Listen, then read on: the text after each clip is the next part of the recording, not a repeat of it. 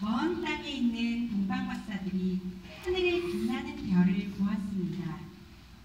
왕이 탄생할 표적임을 알았던 그들은 그분을 경배하러 길을 떠났습니다.